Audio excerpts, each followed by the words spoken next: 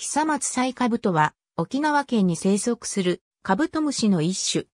1957年に2体のメスが採集されていたが、2002年に新種として記載された。沖縄、南西諸島。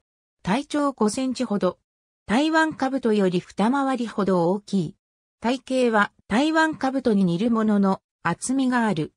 台湾カブトと同じ臭いのような角を持っている。飼育は市販カブトマットなどを飼育容器に入れて、そこに私有ペアを入れる。幼虫期間は短く、半年弱ほどである。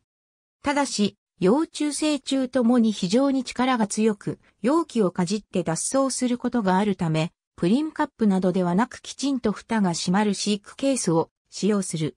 なお、本種を飼育する飼育者は野外に、パナシムシすることは厳禁ということを心がける必要がある。